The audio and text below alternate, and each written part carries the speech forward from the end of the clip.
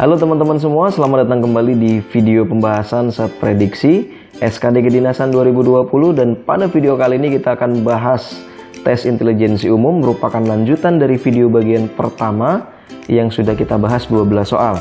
Pada video bagian kedua kali ini juga kita akan bahas 12 soal yang dimulai dari soal nomor 13 sampai dengan 24. Bagi teman-teman yang belum sempat menonton video bagian pertama, saya sarankan untuk menonton video bagian pertamanya bersama dengan si Indra Prima dari Mitra Siswa.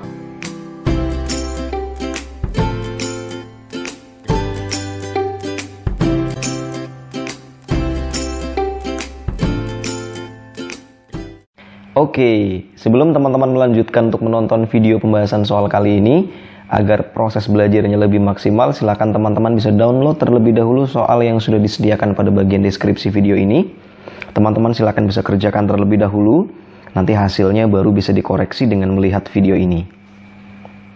Oke teman-teman, kita akan mulai pembahasan pada bagian yang kedua ini dari soal nomor 13. Penyelesaian persamaan 3 pangkat 2x plus 1 sama dengan 9 pangkat x min 2 dipangkatkan 2 adalah Nah, teman-teman, kita bisa lihat di sini ada angka 3, ada angka 9. Siapa yang lebih kecil? 3. Berarti 9 ini harus kita ubah biar sama jadi seperti 3. Kita tulis dulu di sini 3 pangkat 2x plus 1. Kemudian 9 pangkat, boleh teman-teman silakan dikalikan terlebih dahulu. 2 dengan x jadinya 2x. Min 2 dengan 2 jadinya 4. Nah, 9 ini kita ubah jadi 3 pangkat berapa yuk? 3 pangkat 2 3 pangkat 2 gitu teman-teman ya. 2x min 4 berarti jadinya 3 pangkat 2x plus 1 3 pangkat 2 dikali 2x 4x 2 dikali min 4 min 8 kalau udah sama kayak gini sama seperti pembahasan soal sebelumnya kita bisa abaikan saja tiganya. Kita langsung hitung cari x di pangkatnya. 2x plus 1 sama dengan 4x min 8 kita kumpulkan x nya 2x min 4x sama dengan min 8, satunya pindah, min 1. Jadinya min 2x sama dengan min 9, x-nya kita minnya kita coret, jadinya x adalah 9 per 2. Berapa yuk? 9 per 2, 4,5 atau 4 setengah. Berarti jawabannya adalah yang E. Kita lanjutkan ke soal nomor 14. 234 pangkat 2 dikurangi 233 dikali 234. Nah, berapa nih teman-teman ya? Kita bisa ilustrasikan kalau 2, 3, 4 ini adalah bulat teman-teman ya. Ini juga berarti bulat. Oke, kita bisa pecah seperti ini. Arti dari 2, 3, 4 pangkat 2 itu kan berarti 2, 3, 4 dikali 2, 3, 4 dikurangi 2, 3, 3 dikali 2, 3, 4. Ini bisa kita anggap sebagai bulat, ini juga bulat. Berarti sama aja dengan 2, 3, 4 bulat dikurangi 2, 3, 3 bulat. Berapa bulat yuk? 2, 3, 4 bulat dikurangi 2, 3, 3 bulat. Ya jadinya berarti satu bulat dong. Bulat aja gitu. Nah bulat itu siapa? Bulat itu adalah 2, 3, 4. Berarti udah ketemu jawabannya yang D. Berikutnya soal 15. Suatu seri 3, 5, 8, 12. Berapa angka berikutnya teman-teman? Ini merupakan soal tentang deret angka. Kita mencari pola yang sama.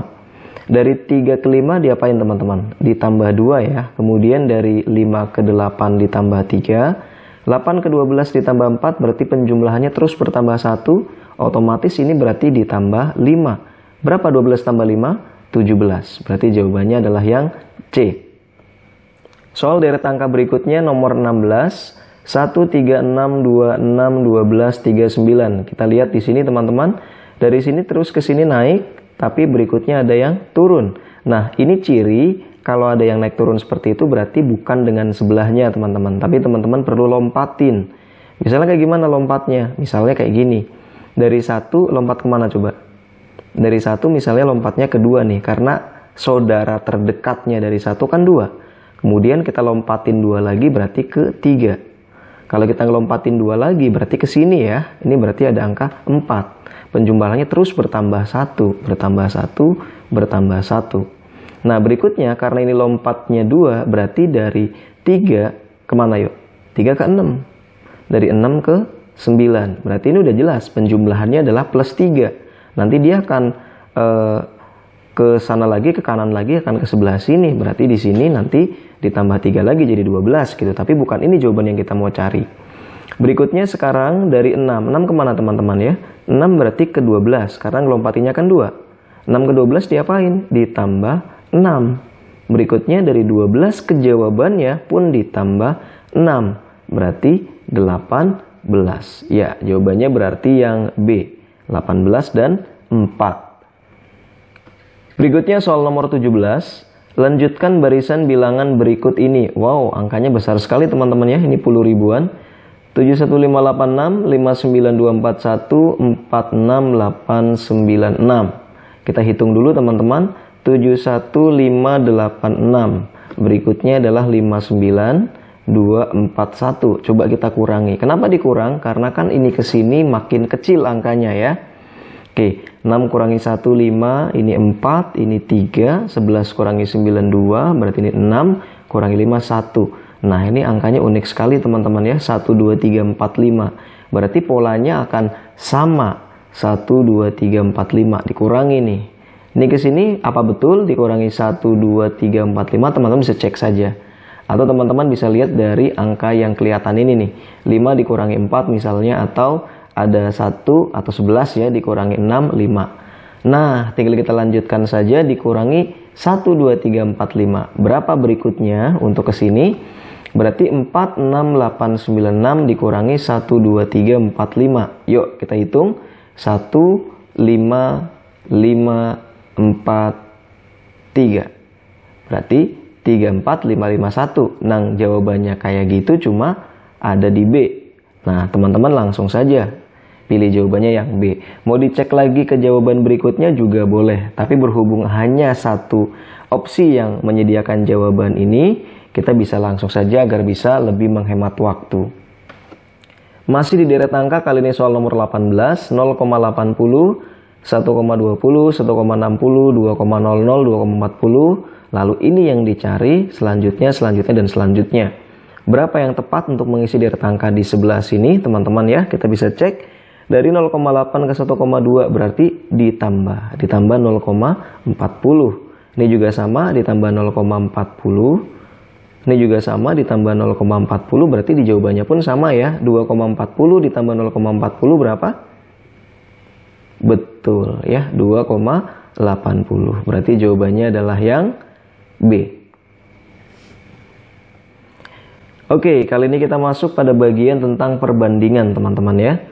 X sama dengan 2Y, Y sama dengan 3Z, kemudian X, Y, Z sama dengan 3888. Oke. Informasi yang diketahui adalah X sama dengan 2Y. Dari sini menurut teman-teman siapa yang lebih besar? X-nya atau Y-nya? X-nya 2 kali lipat Y loh. Berarti X-nya lebih besar dari Y. Kita bisa lihat di opsi jawaban adanya X lebih kecil dari Y. Berarti bukan. Y lebih gede dari X. Salah juga. Berikutnya, Y sama dengan 3Z. Siapa yang lebih gede? Y 3 kali lipat daripada Z. Berarti Y-nya lebih gede dari Z. Ada nggak opsi yang nyebutin begitu teman-teman? Y lebih kecil dari Z, salah. Y lebih gede dari Z, nah ini betul. Langsung saja kita pilih jawabannya yang C tanpa perlu meneruskan ke persamaan berikutnya. Berikutnya untuk soal nomor 20 pertidaksamaan A pangkat 3 ditambah 3AB kuadrat lebih besar dari 3A kuadrat B ditambah B pangkat 3 mempunyai sifat seperti apa? Teman-teman sekarang kita lihat dulu. Dari A pangkat 3 ditambah 3 pangkat AB kuadrat lebih besar dari 3A kuadrat B ditambah B pangkat 3 Nah yang ada di ruas kanan ini kita pindahkan dulu teman-teman. Jadinya A pangkat 3 ditambah 3A kuadrat B ini A kuadrat teman-teman ya. AB kuadrat kemudian min 3A kuadrat B dikurangi B pangkat 3 lebih besar dari 0. Nah siapa ini sebetulnya teman-teman? Nah teman-teman perlu ingat kembali kalau saya punya A min B pangkat 2 jadinya berapa? A kuadrat min 2AB plus B kuadrat. Nah, kalau saya punya A min B pangkat 3, berarti A kuadrat min 2AB plus B kuadrat dikali lagi dengan A min B. Yuk jadinya berapa? A kuadrat dikali A. A pangkat 3. A kuadrat dikali min B nih ya. Jadinya min A kuadrat B. Berikutnya min 2AB dikali A. Jadinya min 2A kuadrat B. Langsung lanjutin lagi teman-teman ke sini. Jadinya plus ya. Min 2AB dikali min B jadinya mi plus 2AB kuadrat.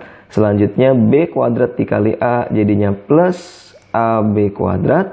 Lalu B kuadrat dikali min B jadinya min B pangkat 3. Kita gabungkan yang punya sama ya. Oke, A pangkat 3 min 3A kuadrat B kemudian plus 3AB kuadrat min B pangkat 3. Nah, pas kita udah hitung ini teman-teman ternyata ini sama persis ya.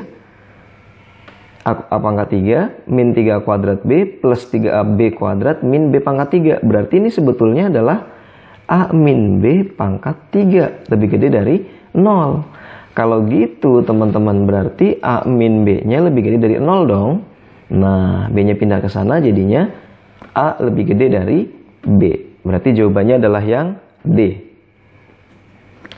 Berikutnya soal nomor 21. Jika sudut suatu segitiga adalah X, 2X, dan 3X derajat, dan Y sama dengan 30 derajat, maka, nah teman-teman, jumlah sudut dalam suatu segitiga berapa yuk totalnya?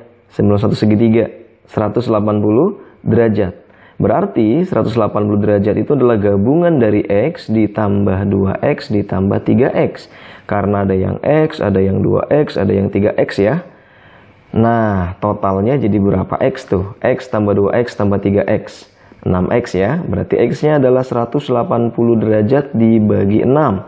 30 derajat.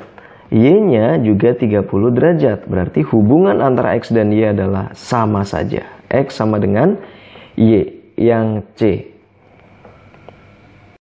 Berikutnya soal nomor 22. Jika X 11% dan Y-nya 1 per 11. Siapa yang lebih gede teman-teman nih? X-nya adalah 11%, artinya 11 per 100. Sedangkan si Y-nya adalah 1 per 11. Nah, kira-kira 11 per 100 dengan 1 per 100, eh, 1 per 100 per 11. Siapa yang lebih besar teman-teman ya? Oke, biar sama, sekarang kita akan kalikan teman-teman. Kalau ini saya kali dengan 11, yang atas kali 11 bawah kali 11 jadinya adalah 121 dibagi 1100 nah kalau ini saya kali dengan 100 dan 100 jadinya 100 per 1100 siapa yang lebih gede? Ya 121 ya. Berarti X nya lebih gede daripada Y. Yang A Kali ini kita masuk pada soal cerita, soal nomor 23. Sebuah jalan sepanjang 4 km akan ditanami pohon peneduh dengan jarak 5 meter. Oke, berarti setiap 5 meter teman-teman ya, ada pohon lagi, ada pohon lagi, ada pohon lagi gitu ya.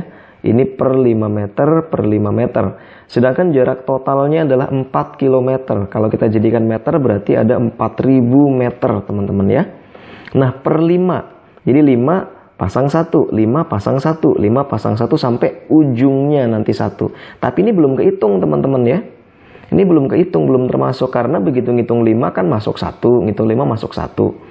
Nah berarti kita akan hitung berapa sih akan ditanami di kedua sisi jalan. Sini juga pakai, sini pakai gitu teman-teman. Nah berarti untuk satu sebelah sisi saja itu 4000 dibagi 5 meter. Jadinya berapa? 40 dibagi 5 kan 8 ya, berarti 800. Sebelah kiri 800 pohon, sebelah kanan 800 pohon. Tapi pohon pertamanya belum ikut. Kalau pohon pertamanya ikut berarti 1 ditambah 800 ditambah 800 ditambah 1. Satu ini ya sini sama sini ya. Totalnya jadinya 1602. Berarti jawabannya adalah yang E. Soal nomor 24 untuk mengisi 4 per 7 bagian sebuah bak mandi diperlukan waktu 6 jam. Berapakah waktu untuk mengisi sisanya? Jika pengisian dilakukan dengan laju yang sama. Baik teman-teman, kalau 4 per 7 bagian itu diperlukan waktu 6 jam. Sisanya berapa? Sisa dari 4 per 7 adalah 3 per 7. Kalau 3 per 7 bagian, jadi berapa jam? 7-nya bisa kita coret saja teman-teman. Ini adalah perbandingan. Berarti 4 menunjukkan 6, kalau 3 menunjukkan berapa? Ini bisa kita hitung ya. Jadinya berarti 3, uh, 4 per 3 sama dengan 6 per X. 4X sama dengan 18 kali silang ya. Berarti X-nya adalah 18 dibagi 4 sama dengan 9 per 2 ya atau 4,5 jam. Jawabannya adalah yang B.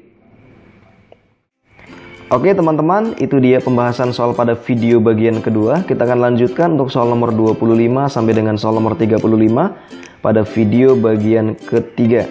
Sindra Prima dari Mitra Siswa, Dare to Dream, Grab the Future.